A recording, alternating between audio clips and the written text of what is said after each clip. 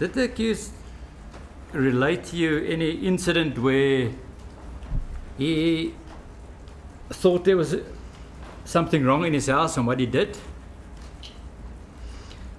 I only have a half a re- recollection of one story that he told me, which turned out to be a tumble dryer making a noise. What, what did the accused say? What did he do? Um, he went into what we call code red or combat mode. In And other what- words, draw his gun and go and clear the house as anyone would if they heard a noise inside their house. And uh, when he came to the source of the noise, it was the laundry or something in the laundry, my lady. Know more about your world. enca.com.